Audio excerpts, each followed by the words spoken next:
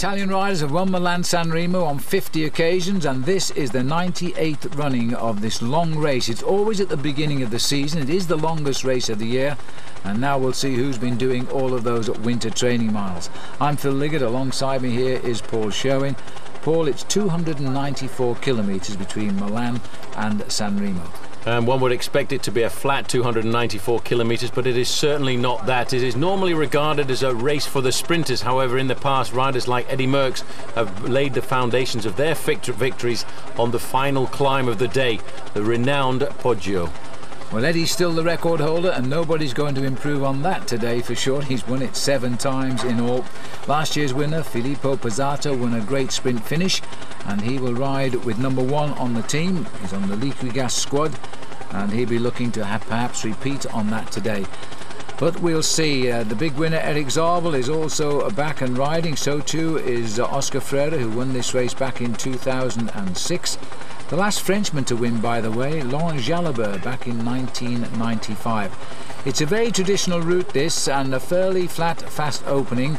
And then the riders, as Paul will tell us, get down to those little cappies. Well, it starts off right in the heart of Milano. They cross over the Col de Turchino before they see the Mediterranean for the first time. And yes, it's once they turn to the right there along the coast, they start the very difficult series of capos with the Capo Berta, the Capo Mele, the Cipressa down towards the end at 25 kilometres to go. But I have to say, the most important, the most famous, is the Poggio down at the end. Riders signing in at the start today and being introduced to the crowd. Chance to see new teams, new colours, and let's hope we have a great season. Just Axel Merckx there, just riding away, riding out his last season. He said he'd like to ride this year uh, the Tour de France and then retire as soon as it's over. Gregory Rast there signing in, the champion of uh, Switzerland. Paolo Bettini, he's going to get a huge round of applause here. World champion now and winner of last year's Tour of Lombardy in the World Championship jersey. Philippe Gilbert moving away, Carlos Da Cruz, the French rider from uh, FDJ. Now the new team has been brought in here as a wildcard team, Team Tinkoff Credit Systems. We've already seen them race this year in the Tour de Langkawi to a fair amount of success as well. And race well they did too, I have to say. Yes, you're quite right. And uh, that was lovely warm conditions. That was what some of the riders were doing in getting ready for the new season. Underway now, the roads are still damp here and the long arm warmers are on. 197 riders checking out and the first crash of the day, quite a melee down there. Well, quite interesting you say melee because the next climb of the day is the Capo Mele. It really is a race uh, de designed for dangerousness, this race of the Milano San Remo. There are always nasty crashes. One of the riders from Crédit Agricole has gone down very hard indeed there. As you can see, we're just looking at the, the rider is okay, but it's very slippy here. There's a lot of a problem there for Team Saunier Duval. I think that's David Millar looking after one of his teammates. Yeah. Chaos is really how I would describe Milan San Remo. It always is, it always has been, but it's a great race anyway. And these guys are going to have to work pretty hard to get back into the race now. They spent rather a long time delayed there. And the mechanics getting back into the cars as they rejoin the action. Well, the race itself, I can tell you, let's have a look. Oh, we're going to show us again. What if it's anything to do with that car parked on the left of the road here? Very unusual well, to see the cars left there. No, well, they're very often left in the road at, at Milan San Remo. They don't clear the route away as they do in many of the other races uh, well uh, in advance. And in fact, it is always dangerous coming into these towns because riders are so nervous to stay at the front end of the main field. They take incredible risks, and that's when you get a crash like that, it just tends to block up the road. Couldn't quite see the number of that Crédit Agricole rider down there, but it might well have been Christian Bareni who was on the floor. Anyway, back to the action now as we join up. This is Andrei Kunitsky. Let me give you a little bit of the background as to what has happened as we join the pictures here. These are the three survivors of a six-man breakaway. After covering 46 kilometres in the first hour and averaging 46.2 in the first two hours, Six riders got clear. Pavel Brut, who's still up here, Andrei Kunitsky, who's still here, and Aitor Hernandez. They are the three survivors. The others were Emmanuel Sella, Koen de Kort, and Roberto Traficante, but they have now been dropped. They've had a lead of seven, nearly eight minutes, but the peloton, as by tradition, Paul's ridden this race, by the way, are now chasing them down. 211 riding at the front there, Alessandro Petacchi. He'll be looking for the win here this afternoon. He will hope that his man Erik Zabel will pilot him down towards the finish line. Erik Zabel, a prolific winner of Milano San Remo over the last few years. This is the part of the course where the riders start to get very nervous indeed. It's the repetition of these little climbs, the capi or the capos, if you like to call them. But I think the first serious one that all of these riders are concerned about is the Cipressa. It's a very difficult climb, put in a couple of years ago to try and split the race up and prevent the race being a race for the sprinters. However, it never really seems to have succeeded in doing that. Well, they've not got far now. This is Pavel Brut here, but the peloton, as they started the climb of the Cipressa, was just 30 seconds back. So they know they've got this breakaway under control now, although they're still trying to slow it down there with Tinkoff riders near the front. As our camera nips along, that we're going to start picking off the leaders here, I fear. They're saying 30 seconds. Somebody stopped already on the right there taking a wheel change. I think that's actually a, a spectator is it, is at the side of the road, yeah, just having a look back. This is the Capo Berta. You can recognise it because just towards the top on the right hand side there, there's a, a number of cactus plants, which uh, I always remember as if I could just hang on in the main field to the cactus plants, I was going to get over the top of the climb with the rest of the group. Let's hope they never cut them down, otherwise there could be problems there for the riders. Well, these are the pacemakers now. Remember that Milram here. They've also got uh, Erik Zabel, who despite his victories here in this race, and he's the last German to win it back in 2001, he's also the last German to lose it when he was beaten on the line waving to the crowd as Oscar Freire got through on his inside. That's probably the one he remembers most of all. This is Thomas Vaitkus on the front, a big strong rider on Team Discovery Channel. Riding in fourth place there is Yaroslav Popovych. He's a man who may well have a chance of performing well towards the end of this race. Spent a lot of the early part of his career actually racing in Italy.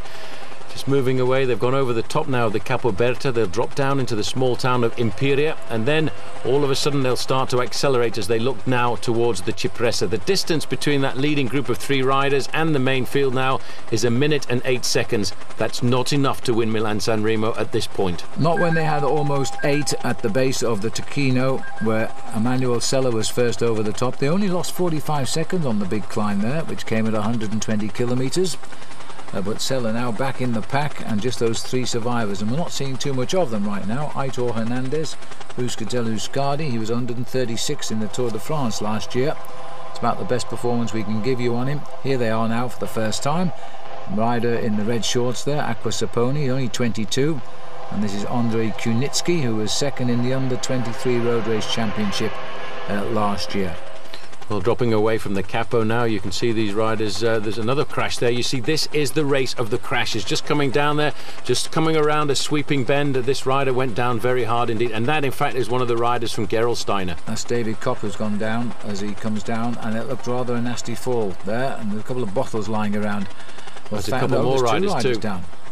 No, that's Kopp. No, that they're saying Bakers. Well, that's certainly not a Discovery rider. Maybe we'll get another shot at it. It looks like Wegmann. Wegmann is the Wegmann. other rider who there's went two down as well. This one is Kopp here. Oh, it does not look good at all. This no. is a crazy race, Milan San Remo. It's a race where you have to battle to stay at the front end of the main field. The doctor is there very quickly with him. Fabian Wegmann was one of the other riders who went down, but in fact, I think two riders as well went down from Team Gerolsteiner. Well, they are both Gerolsteiner riders, you're absolutely right, and uh, Wegmann and Kopp appear to be down, and it looks as though uh, David Kopp here is out. Well, he's the sprinter on the team here, who would be expected to do pretty well, and he won't be there now because uh, that looks a little bit more than just the casual fall, so it's really sad for David Kopp here. I first uh, met him when he rode for a smaller team, La Montre, I think it was, and he used to race in South Africa, and that was when he started winning races. And he said he'd left uh, the T-Mobile team of the day, it was Deutsche Telekom then, because he didn't want to be second fiddle to Jan Ullrich, who he was supposed to lead out in the sprints. He wanted a win for himself. Well, he certainly started to do that. That's a shame. Anyway, let's go back up to the leaders now. These are the three survivors of a long, long breakaway today. If they make it to the finish, they will have been in the lead for just about 210 kilometres. Well, I don't the, think they're going to make it. 48 seconds. This is the town of Imperia that they're going through now. It's down to 48 seconds, as you say, but very shortly, once they leave this town, they will head up to the uh, slopes of the Cipressa, and that is a very difficult climb. And the main field will then start to accelerate as they start to decant and get the weaker elements off the back end of the main field. As you said, Phil, this is a very long one-day classic. There in the distance is the Cipressa. They ride right through the very heart of Imperia, then take that right-hand turn, and the climb begins. And they throw all caution to the wind to try and reduce the size of the group from 70 or 80 riders down to 30 or 40 for the fast descent then down to the start of the Poggio. I would think D-Pressers are probably a better name than the Cipressa for the leaders now because that gap is closing down. These riders will want to close it down fairly quickly.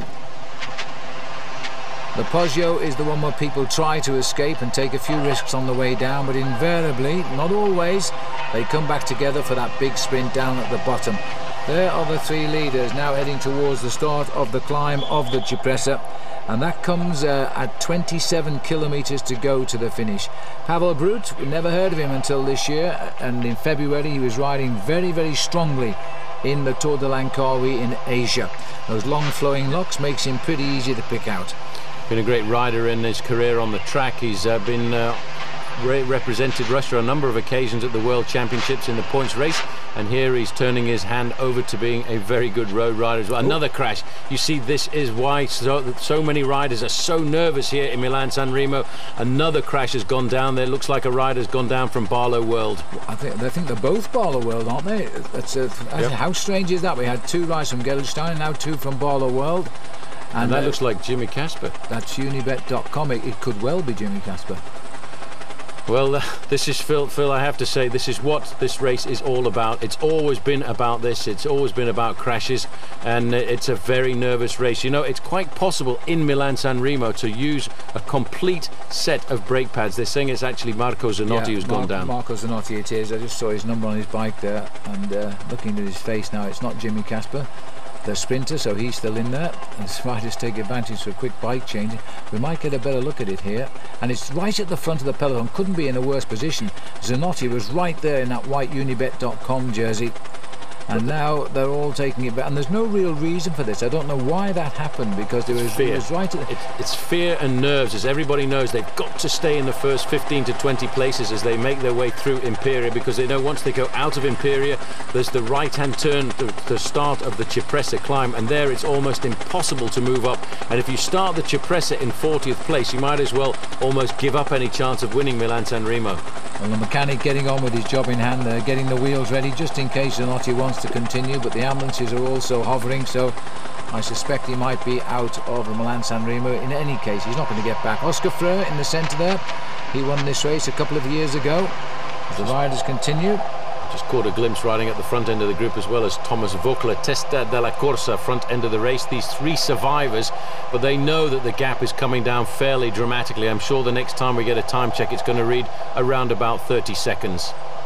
Well, this is Hernandez doing the pacemaking here. 24 years of age for Euskaltel Euskadi. That young lady's a few years to go yet before she starts racing. Well, there's a little, uh, as our helicopter now flies just off the coast here, chance to see Milan San Remo down the beautiful uh, coast road, but we don't stay on it, of course. We dive into the little climbs before we finally finish up in San Remo. You'd go the same way if you kept on the coast road, but that would be no fun, would it? 30 kilometres to go, just under 19 miles to the finish. And that leaves us around about uh, three kilometres away from the top of the Cipressa. There you can see Voeckler up into second position, the man who uh, wore the yellow jersey in the Tour de France for 10 days a couple of years ago. He's obviously in good form in the early part of the season. Also moving up, we can see a lot of riders from Milram. They'll be looking after Alessandro Petacchi, and not far away there, I can just see Erik Zabel also. I thought I caught a glimpse there, the champion of Luxembourg as well, Kim Kirchen, who seemed to be pretty near the front. The yellow jersey there is Riccardo Riccò. Now, he's a young rider who just uh, ah. made his name available to us in the recent uh, Tirreno Adriatico. A very good rider and a tip for star stardom in Italy. Looking for the slopes the Cipressa first, and that looks as though Pavel Brut is trying to go away. The other two have got him under control just about. Hernandez uh, freewheeling up, and uh, Kunitsky, who's the youngest rider up here at 22 years of age, is a Belarus, by the way. And uh, he's a good road race rider. He's got plenty of future. He's been the national road race champion, elite, when he was under 23 of Belarus back in 2005. So he's settling into the big pro scene. Oscar Freire riding pretty close to the front too in those colours of Rabobank just now. Everybody very nervous now. They're just waiting for this right-hand turn, and once they start it, it'll be absolute pandemonium as everybody tries to see whether or not they can launch the attack that splits the main field. Tom Boonen, I'm sure, is fairly much to the front end of the main field. This is the kind of race that Boonen really likes. It was his teammate who won a year ago, Pippo Pozzato. I'll tell you what, just be, it is a helpful win, but as always in Milan San Remo, this has been a very, very fast ride nearly 300 kilometres you'd think we'd be out here all day but far from it because of the nature of the course and usually the direction of the wind prevailing. These riders fly in 56 uh, 46 kilometres rather in the opening two hours a very quick start to the day. Not long now before these boys find the slopes of the Cipressa they certainly haven't slowed down. They certainly haven't given up hope uh, but the field are closing in all the time now. Well, it's just around the corner, if my memory serves me correctly. They take this uh, left-hander, then all of a sudden the right-hander is there right in front of you, and that's where the Cipressa starts. There it is almost as if I was riding. What a shame, they could have gone straight on. It was much uh, shorter and far less hilly. 18 seconds the gap now, that's all they've got here. And it's Liquigas leading the charge, and that's because Filippo Pozzato is the man. This is in fact uh, Petito here setting the pace. Pozzato was the rider who won last year. And Hernandez, well, he's the climber in the group, has gone for it. Salita Cipressa, the climb of the Cipressa, and Hernandez has tried, but I think that's pretty much just to prolong the agony. It's always chaos. You see, this is a chaotic race, Milano San Remo. The motorbikes get in the way, and this group now is starting to split up. But before they get to the summit field, they will be caught by the front end of the main field. But I've just seen Bettini shooting out of the pack, or is he? No, because he's in the cars. Well, I've got a feeling he's coming back from a flat tyre, but we didn't see him have that flat tyre. But it looks as though he's making his way through the cars. What a place to have to get back, right on the climb itself. The worst Hernandez, place possible. the death throes, is it, of the breakaway now as Aitor Hernandez tries to go clear.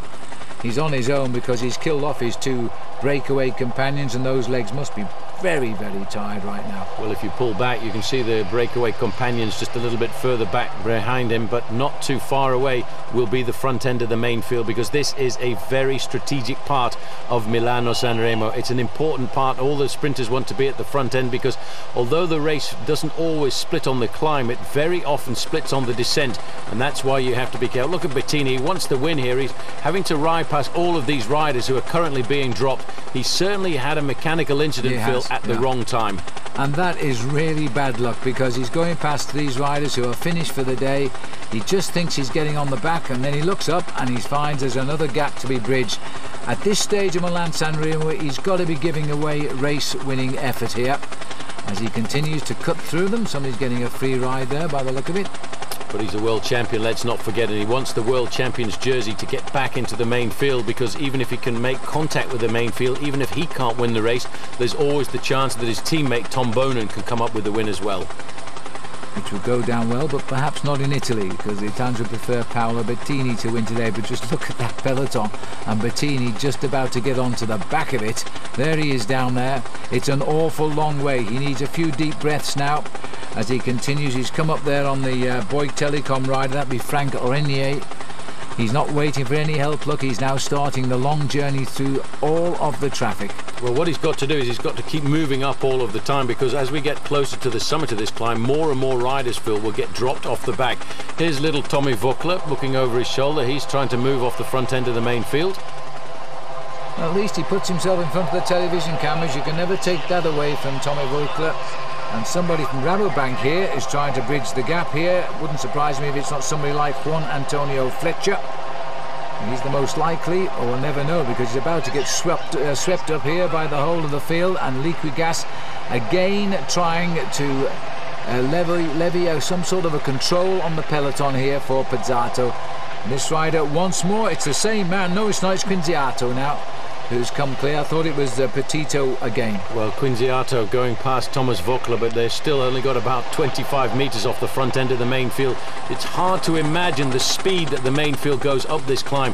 This is one of those climbs that you're going up in the absolute big ring at full speed in excess of 40 kilometres an hour, and you're almost begging yourself to sit up and forget about it. Why am I hurting my body so much in the early part of the season? Just looking up uh, through the main field there, you just keep getting a glimpse of the sign, the sign of the rainbow jersey of the world champion Paolo Bettini. Still in the main field. Quinziato now could be setting something up for Pippo Pozzato. Pozzato would love to win this race if he can. The gap, not very much. No, but Voeckler's done well to hang on here. He can't help him, but he's hanging on as they try to pull clear of the field. Once they flip over the top, a little bit of a downhill. As we head on towards the Poggio, and uh, he started the move, but he can't do much about this pressure attack here from Quinziato. And Quickstep, thinking of Tom Boonen for the sprint, are also leading the charge back there. And I wonder if they know that Paolo Bettini is at the back end of the main field trying to wind his way forward. He'll try and stay in contact, try and move up to 20 or 30 from the back, and then hope that there's a deceleration after the descent and he can move to the front end of the main field. Look at the face of Thomas Voeckler. He always tries maximum when he gets into a breakaway situation like this. He's gone to the front to try and help Quinziato. It's still a long way to the summit of this climb. You see how fast they're going around these corners. Bear in mind, Phil, this is actually uphill. Yes, and judging by the gears they're pushing, they don't believe us. But Wow, it doesn't matter. Take a look back, boys, because we're all together again here now, and no split at all. Just very quick tempo riding, and still have Quickstep trying to control this now. Lampre also have candidates in. And up on the inside, once again, are coming the Liquigas boys. They're trying to keep it all nicely together. These motorbikes getting just a little bit too close. Well, a little bit of Italian coming through there, telling everybody to get out of the way and try and make sure that it's a safe race for the riders. That you can see a lot of pressure on at the front end of this main field. Tom Boonen obviously can't be too far away. I'm looking to see. He normally rides the Cipressa right up at the front end of the main field because he's not really one of the great climbers, Tom Boonen. That's Boonen there in fifth position. You see, he wants Milan San Remo himself. Well, the long line, Spezialetti is the rider from Liquigas who's got onto the front now. Now it's just a chance here as they settle just a little bit that uh, Bettini might uh, nip through a few places. He's still stuck at the back of the peloton. And the, the, the uh, quick step rider there just caught a glimpse of him but didn't quite catch his number for you. But uh, he's oh, it's 163, so that makes it. To- doesn't look like Tom Boonen. Is It's it Tom, Tom Boonen? Boonen. That is Tom Boonen. Just on his wheel Oh, is Alessandro Petacchi, number 211. You can see the big bouncing style of uh, Tom Boonen. You can't see the rainbow bands from this altitude. Well, there's Oscar Freire. He's riding about six men down. It could be a crossing of swords of those two great sprinters if it comes down to it. Watch out also for Pozzato. He stands out pretty easily with uh, only the number one on his back. Uh, but Bettini. Boonen, it's interesting. Boonen hovering very near the front now and has told his team to chase down that earlier breakaway. Quite clearly believes he has a chance today. Well, it's a race that Tom Boonen really wants to win if he can. He'd like to get himself across the line in first place. Paolo Bettini is still struggling. Uh, You know, it's so unfortunate if you have a mechanical problem at the wrong time in a race. And for Paolo Bettini, that was certainly the wrong moment in the race to have that flat tyre. Quick Step have got control, looking over the shoulders there. They're looking to see where is Tom Boonen. Is he okay? Well, the answer to that question is yes. He's in fourth position. He's not right now going to make any kind of a move. He just wants to be at the front over the top of this climb, and he wants to be at the front over the top of the Cipressa for what will probably be a large group sprint towards the line. Well, that was Kevin Van Impe uh, who was doing the climb. I think he's the nephew of the great uh, Belgian climber Lucien Van Impe, who won the King of the Mountains title uh, six times in the Tour de France, which was equaling the record at the time of Federico Bahamontes. Well, there's another little move trying to go away. This time it's Gasparotto who's gone clear. You've got to say that Liquigas are trying to soften the race up, certainly in favour of uh, Filippo Pozzato. They certainly have a plan here this afternoon is to make these climbs as hard as possible as he rides off the front end of the main field. It's actually Pellizotti. You recognise him by the long flowing locks underneath his crash helmet. A star of the future, they say, for Italian cycling. Here he's riding on his own account. There may be a little bit of uh, a dummy there because uh, with those long flowing locks he could very much easily be mistaken for Pippo Pozzato as well.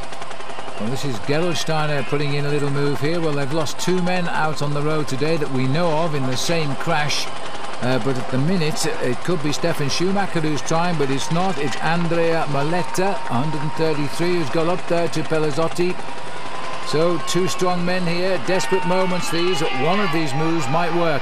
It's a horrendous climb this because it's one way. of those gradients that you think this race, this climb is going to be over. It's nearly finished. Then all of a sudden you go round a corner. There's another kilometre to keep going upwards. The main field starting to stretch into a line at the front, but this is not, Phil, the critical climb of the day. It's the first race, the first climb. It's the hors d'oeuvre. The main climb for me has always been the Poggio. That is the most strategic point of this whole race. Well, we just saw the face there of Moletta and also Pellizotti. The tandem here trying to break something of it or just hang out and be the tempters for the rest. But the peloton has sat up just a little bit and he's back here. Nobody starting the reaction. They're waiting for another move. Far side is Kim Kirchen, the champion of Luxembourg, just watching everybody on T-Mobile. There comes the reaction. It looks like Cees de Pon. Well, they're lifting the pressure at the front end of the main field. Everybody now is trying to do something here this afternoon. In fact, there's a rider moving off the front there, and this looks to me like Yaroslav Popovych making the move.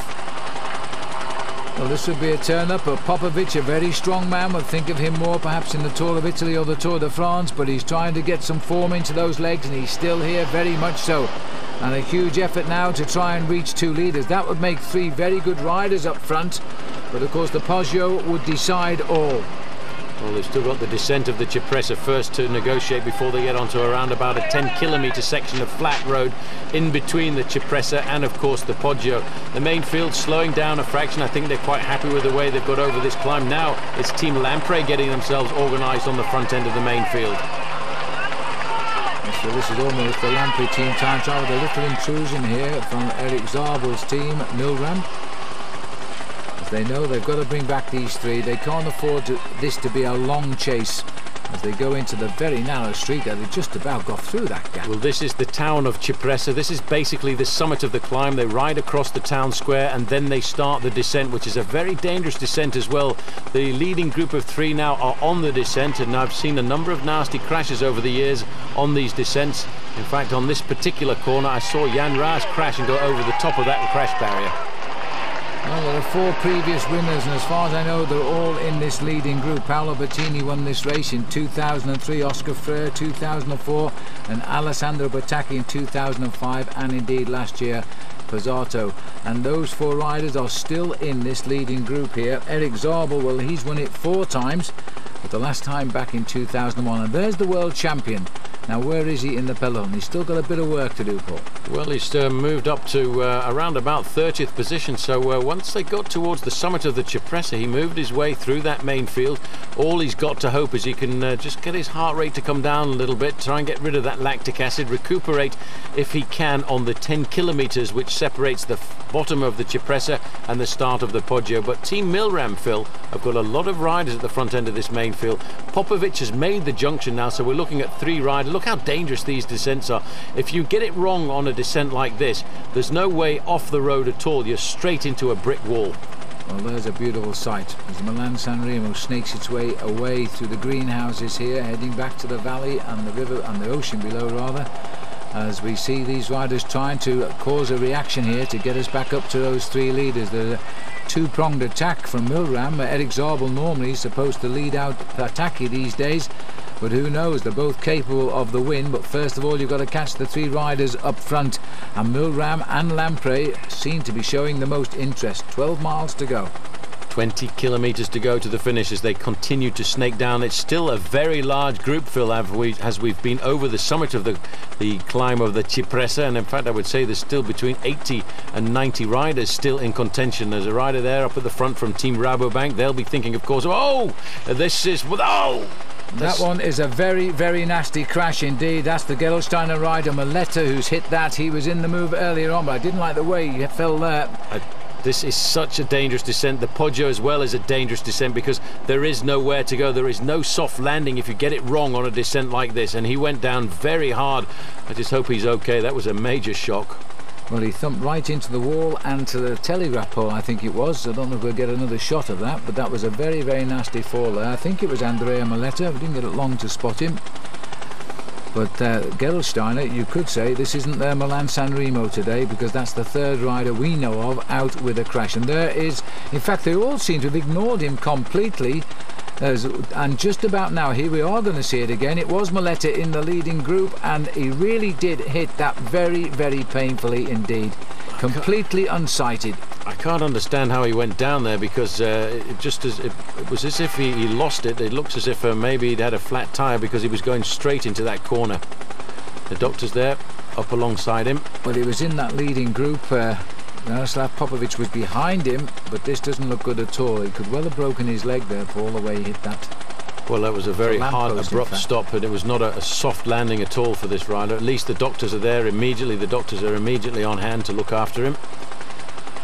Well, the trouble well was this has got to be one of the bloodiest Milan San Remos I think I've ever seen. I've always known Milan San Remo, Phil, as being a race of accidents and crashes, but I don't think I've ever seen any quite as dramatic as the ones we've seen this afternoon. Well, we haven't seen, uh, we've certainly seen some bad ones, that's for sure. Well, that trouble is that that has taken out one of the men from that lead group of three now. That well has reduced their chances here as the, the boys from Lampre, this is Patxi Vila here, and trying to just uh, get this race back. There we're staying with the pictures of uh, Moletta on the right. And the, the, rider here from Milram, by the way, is Celestino. He's a classic win in his own right, but I think here more interested in getting back up to those leaders. Well, I'm not quite sure what's happening here with Patxi Vila. I can only think that these two riders have managed to get away on the descent of the Cipressa. The two riders at the top are the two leaders. That is Yaroslav Popovych, and he's with the rider that started the move, uh, uh, Pellizotti. The two riders at the bottom, Patxi Vila and the rider from Milram, I think are two riders who managed to get clear on the descent. So they're in third and fourth place on the road, riding on the flat section which separates the Cipressa from the Poggio. Well, Moletta is uh, quite conscious and seems basically okay, but they're not going to move him. He will go into the ambulance which they've called up. I suspect there he's broken that leg because of the way he hit that lamppost. Back with the uh, two remaining leaders here. Pellizotti totally committed at the moment. And so too is Yaroslav Popovych. They'll be missing that third wheel though to give them some relay. You're right, Vila and Celestino are the next two riders on the road and they're only 10 seconds away. Well, if the four riders get together, they've got a serious chance of getting to the foot of the Poggio ahead of the front end of the main field. The big problem is that once you've made a massive effort like this over this 10 kilometre flat part, you take the right-hand turn to the start of the Poggio and then all of a sudden there's no oxygen left, there's no power left in the legs. This might compromise the attempt of Patacchio Zabel in the sprint here because Milram will have a man in the four-man leading group. And that will put Celestino up here. And uh, we keep going back to these pictures. I think we've seen enough of them personally but uh, it looks as though uh, he will be taken to hospital and they'll check him out completely check on him in the press tomorrow but I hope he's okay. Very unlucky. He was right in the center of those three uh, descending riders. Maybe for a moment he lost his sight line but he certainly never made the bend and he should have done because uh, was behind him on the same line and got round quite comfortably. I tell you, they're all very dodgy corners uh, on the descent of the Cipressa. I've seen danger there in the past. The Poggio is pretty much the same. These two riders have now got a 10-second advantage over the two chasers and a 20-second advantage over the front end of the main field. This man we're looking at, Yaroslav Popovych, really is sheer class. One day he's going to win himself a massive bike race. And look at the power. He just sits there rock solid on his machine.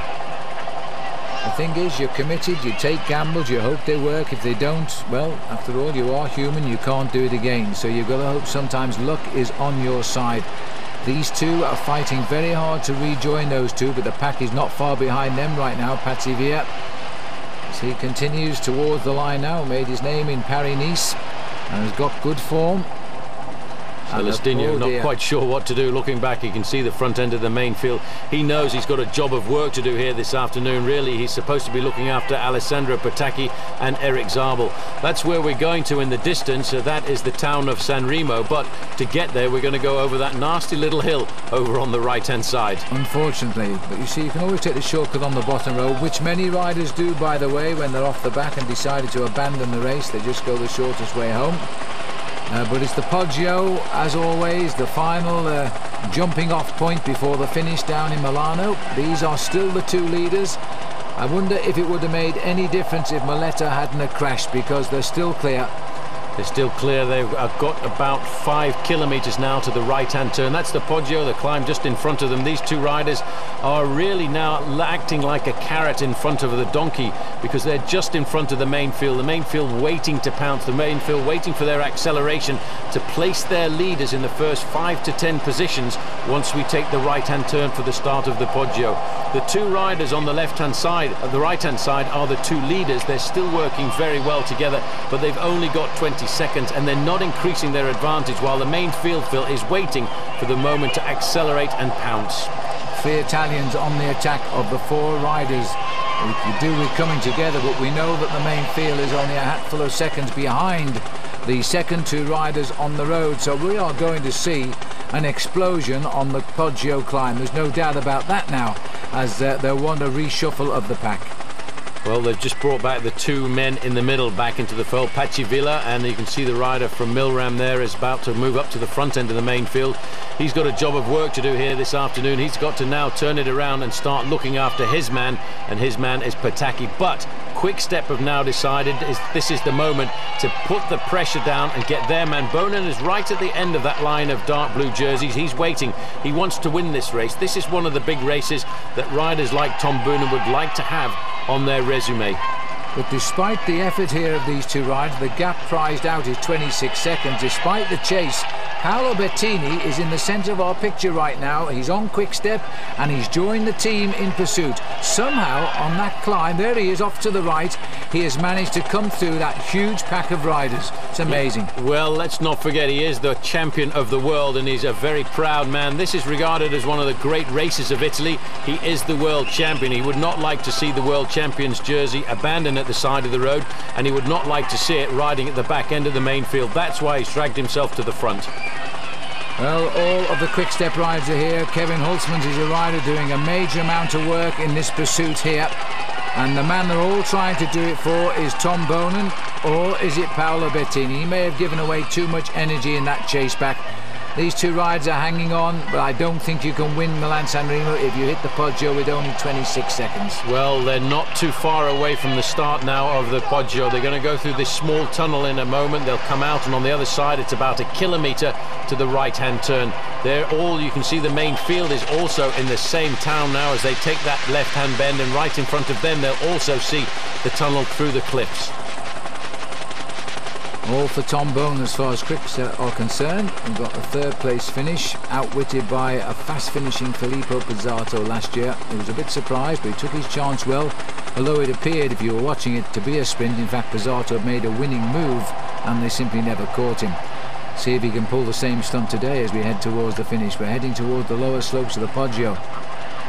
Into the tunnel. Two leaders. Who's going to come out? It's got a way your cameras can't go into the tunnels yet. We haven't worked out the technology for those signals, but 28 seconds is still the gap. Terrific ride by those two riders, and would it have been more if there had been three riders? But look at the chase here by Quickstep now, who seem to have taken control of Milan San Remo. Well, they know now in the next kilometre or so is probably the most strategic kilometre of Milan San Remo. It's that right-hand turn for the start, 12 kilometres to the finish line. In fact, we're only about seven kilometres away from San Remo, but you take a right-hand turn and go uphill for two kilometres three kilometres before plunging down into the outskirts of San Remo. These two riders are still working well together, but I don't feel, Phil, they've got enough yet to win Milan San Remo because the gap is not stretching. It's locked in still at that 26 to 28 second mark. Well, it's almost impossible to ride away from the peloton now because they're in full cry and they know the finish is round the corner. So they've literally uh, got to just keep going as best they can. They're not going to pull away any further now. It's a question of hanging on and hoping that there is a slight relaxation of the pace. I think the field is just waiting for the explosion on the Poggio. Robbie McEwen. Yes, and he always says he only he's only ever got to the finish twice, and when he got there, he was involved in a crash, and then he got mixed up and missed a split in the sprint. But he says if he can get to Milan, Milan San Remo this time, he's got a real chance of winning, and he's right there. Well, there he is, just sitting uh, a little bit too far back for the approach to the Poggio. He needs to move up into about 10th or 15th place. Boonen riding confidently at the front end of the main field. 10 kilometres to go for the two leaders. Now we're not very far. It's a very nervous moment now from that left, that right-hand turn. I would say, Phil, not really very much more than a kilometre and a half. Time to get nervous legs now as you head up towards the climb. This looks like a little bit of a climb anyway here as Popovych and Pellizotti try to hold off the rest of the field here and here they come and nobody now can control anything because it looks as though CSC have got the men on the front and Quickstep won't be unhappy about that. They've done a lot of work here You've got to keep these riders in a vacuum now and keep everybody away from them because the move could happen at the blink of an eyelid. Well, Team CSC are always a team for the start of the season. There are the two leaders, and all of a sudden, the main field over. is right behind them. Less than two or three seconds, it's all over for those two men because the main field is now completely and utterly on fire. A different team on the front, Team CSC, but look at the speed. A few moments ago, it was half a minute. Now it's nothing. And now we're about to start the climb up towards the finishing line here. That's Fabian Cancellara, the World Time Trial Champion, who's driving on the front of the race right now. There's the flick onto the Poggio. They've still got the lead just, and they're still out of sight, but I think the whole train is going to thunder up to them right now. Well, as soon as you hit the first kilometre, you see the acceleration. There's the front end of the main field. Stuey O'Grady will be looking to do a fine performance here as well, but all over the front, you can see it's Team CSC. Tom Boonen's not the kind of rider who will try and make a move here on the slopes of the Poggio, but he's got to try and stay in the first five to ten riders. Well, that's Karsten Kroon now of Team CSC, the Dutchman who's now setting the pace. Uh, Cancellara has disappeared. Uh, Kroon's turn to take over. I would say you're right uh, because uh, Stuart O'Grady is on form and is up here as that Nat Oscar Freire too. It's always dangerous. Freire's either in the mix or hopelessly out of it and he's in the mix right now. He's in the mix and he's sitting right on the wheel of Tom Boonen and he knows that's a good wheel to follow. Tom Boonen is not going to accelerate on the climb but he's going to be looked after by his teammates. Not too far away is Matteo Tosatto. In fact this is Matteo Tosatto now coming to the front. He's going to keep the pace nice and high. The two leaders going backwards. There is Yaroslav Popovych. He's been caught. And uh, Pellizotti, well, he's going backwards at the rate of knots. Could be Carlos Pereiro setting the pace there for quick step on the front. Here is the smaller rider. And meanwhile, Milram relying on Fabio Sacchi, pretty well known in Australia, won a stage of the Tour Down Under when he used to race on Saeco. Uh, but he's also at the head of the field. There's quite a lot of riders now at this point are going to be thinking they have a chance here, but then they always do at this stage of the race. It all disappears on the way down. Yeah, Alessandro Petacchi's up there in around about 10th position, so he's riding fairly well this afternoon. But it's important. Look at that. There's Paolo Bettini. What a great ride by him to be up at the front end still after having a very badly timed mechanical incident. That's a, a show, Phil, that he's got great form. Looking down, Kim Kirchen has held that position. He's the rider with the red top to his jersey, champion Luxembourg. He's held that position for hours upon end without doing any work. He's a clever rider. And this is Popovych. I thought we caught him. Well, we did caught, we did catch him. He went backwards, and I think he decided he'd still got pretty good legs, so he'd have another go off the front end of the main field, and this will have caught them napping. Well, they think, oh no, not again at this stage, I would think, but that is a good move, I think, by Yaroslav Popovych. It's detracting from all of the other riders on Team Discovery Channel, and there's no immediate reaction coming from the field. It's up to someone else, Quickstep says. And there's the twist and turn to the Poggio. You can look down on the peloton, you can look up to the leaders, and there he is, Yaroslav Popovych. Somebody's made a move behind. That's a rider from Team Barloworld has seen the chance of trying to come across here. Well, that's Alexander Efimkin here, a Russian rider on Barlow World. He is the brother, there's two Efimkins, one Efimkin isn't on the same team, and uh, uh, this one's a newcomer here. Well, there's Oscar Freire moving up to the front there. A little bit further forward, you can just see Frank Schleck. He's number 191. Everybody now wants to be right at the front end of this main field. Alessandro Ballan is not too far away either. He's a man that I think Team Lampre will be counting on here this afternoon. Now, as the riders start to rethink just how are they going to pack pick up here with Yaroslav Popovych, the Ukrainian rider, who is clear of the field. And I was just wondering when they when they cut back to these slow motion, I always worry in case they're going to show a crash. But he he did wobble a bit, but he got round safely, and the Tinkoff team now trying to bring him back. Well, Team Tinkoff is a really a great team for the start of this season. I think we'll see great things, and that acceleration there has in fact forced a little split off the front end of the main field. You can see the way that Quickstep are riding. They don't want to accelerate too much to pull these groups back because they don't want to take any sting away from the legs of Tom Boonen. And if they accelerate to nail back these groups, they'll take a little bit of his final top-end speed away for the sprint down towards the end. So they'll let the group go and slowly accelerate and bring back the group. Ricardo Serrano was the Tinkoff man who was responsible there for the capture of Efimkin, and the rider in the picture now is Francesco Tomai of uh, Panaria, but this looks a little bit more under control. Nice to see Française des Jeux, that's Philippe Gilbert. Panaria, I should say, trying to keep the pressure nice and high. They've got a little gap, but it's not a monster gap over the front end of the main field. They can't let a man like Philippe Gilbert go free because he is a man who could come up with a win down towards the end. And Yaroslav Popovych has done the ride of the Poggio here, and he's still Gone got again. a bit of fire in his legs. He's gone again. Immediately on the split, Efimkin thought he was coming onto the back of the group, and he's coming onto the back of the split.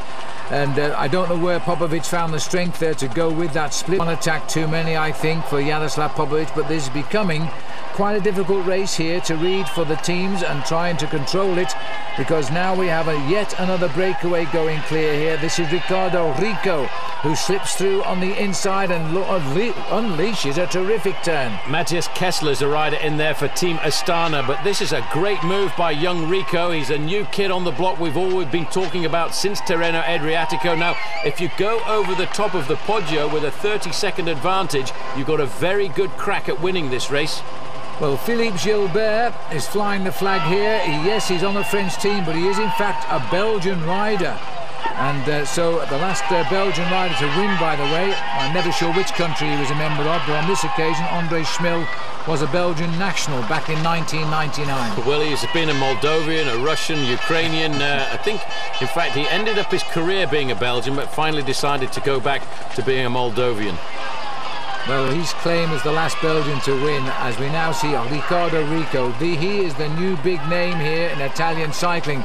He's got a good ally in Philippe Gilbert, a man from the Ardennes in Belgium, where hills like this abound, and Gilbert will give it everything here. Well, this is a great move of these two riders. They're both working well together. Two riders on the up and up in the sport. Gilbert is the rider in the white jersey. This is the famous corner at the top of the Poggio. This is the start of the descent where my mate Alain Bondue crashed many years ago when he was racing down here for the win. And on that occasion, the winner ended up being Marc Gomez of uh, Team Wolber at the time. And of course, he'd have never have won if Alan had stayed upright, would he? Well, probably not because Alain was a pretty good trackman, I think I tend to remember. He was two-time world champion of the pursuit. Well, we're on the plunge down now. There is a gap of 10 seconds. It may or may not be enough because once they run off the Poggio, it's a couple of kilometres, not much more than that as they race up towards the finish. And Bettini is getting himself up near the front. Kim Kirchen still marshalling the attacks here, and he's the second rider in line just at the moment. Very keen, and you also noticed that Frank Schleck was keen to move Paolo Bettini from the back of the race up to the front end of the race now. Matthias Kessler, this is the move here. This was the move of three riders just towards the summit. The acceleration of Riccardo Riccò there you can see straight off the front. But Gilbert is a strong rider. He's a classics rider. Now they're on the descent. This again is a hair-raising, crazy descent. You've got to take risks if you've only got 15 or 20 seconds advantage with about five kilometres to go to the finish of Milan-San Remo. What happens if you've only got 10? Because these two riders have little more than that now as Gilbert takes uh, Riccò, Riccardo, that right, uh, Riccardo, Riccò rather, right, all, all in the same initial. Double R. way. Thank you very much. This is the corner coming up, Paul, isn't it? Uh, it's the right, then it's a left corner. Wasn't that where the crash was with Alain Bondue here? Uh, it was actually the first corner right up at the top just as it started to rain. As you can see here, Paolo Bettini's now started to make the pressure on the front end of the main field. He's obviously, I think, decided he's going to do the work for Tom Boonen. And Bettini, who's had a very, very up and a down ride to say the least, is now trying to drag his team captain back into the fray here. He's an incredibly good bike rider and such an aggressive bike rider. Alessandro Ballan, I don't think he'll be thinking about himself now. He's thinking about the man behind him. That's Daniele Bennati there. He's a great sprinter himself. Well, he's very well up, and I'm not sure he wants to be quite that well up at the moment. As they start, it, it looks like Gusev coming Yeah. down there for uh, Discovery Channel. He's also another one of the up-and-comers. There's a little replay, I think it is, of uh, the switchbacks led by the world champion. And now we go back up to the two leaders. They're still clear on this very, very difficult descent. There is San Remo in the distance. He's not far away now. They begin to sense they've got a real chance here, but what they need? 20 seconds when they come off the drop? They need at least 30 seconds? I remember a few years ago a man called Moreno Argentin was uh, well in the lead on a descent like this. An Italian riding to victory in Milan San Remo, and all of a sudden a bullet dropped out of the main field. It was called Sean Kelly, and he just caught Moreno Argentin at the one kilometre to go banner. And unfortunately for the Italian, it was Kelly who got the win on that occasion. And victory for Ireland. Kelly's won this a couple of times, in fact. Uh, Milan San Remo, without doubt, the famous one day most famous one-day cyclist ever to come out of Ireland. As we go in, it looks like three kilometres to go to the finish. And the crowd cheering on an Italian and indeed a Belgian as they race towards the line. Well, three kilometres to go to the finish, about a kilometre till they get on the flat part of the road inside San Remo, and then it's the line up for the Via Roma. And it is a long Via Roma, you know, it's a long way to the finish line. You start that sprint too early, it's slightly uphill, and you'll find yourself slowing down towards the end. A little bit of panic now, I think, because these riders don't realise how strongly those two riders are working together at the front, which is why Paolo Bettini here, the champion of the world, is absolutely sacrificing himself because he's put his bet, I think, this afternoon on Tom Boonen. There is Gusev in about fifth position. Here we are, off the bottom of the Poggio now, onto the flat part, right in the heart of San Remo. Very shortly, they will see in the distance the Flamme Rouge. There's a left-hand turn, then followed by a right-hand turn, and the Via Roma is right up in front of them. This is the SS Aurelia. That's the name of the road which drives right along the coast of Italy. And there is the peloton being led along here by Patxi Vila as the charge is on now to try and wipe it out. The other rider there is Alessandro Ballan in second place. Philippe Gilbert now is having to ride here, flick of the elbow saying, come on. Well, if uh, Riccardo can't do it, then he's not going to win. He's got to try and help him.